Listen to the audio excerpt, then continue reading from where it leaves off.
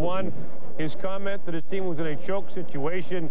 I think you can argue that that uh, might have been taken out of context and was probably overworked. But the other thing was that it was it appeared that he was having trouble with uh, star player uh, Eric Lindros. And so Terry Murray was let go by the Philadelphia Flyers. And who do you think is the next coach in Philly? Well, Wayne Cashman had his interview with the Philadelphia Flyers. A lot of people believe he's the leading candidate.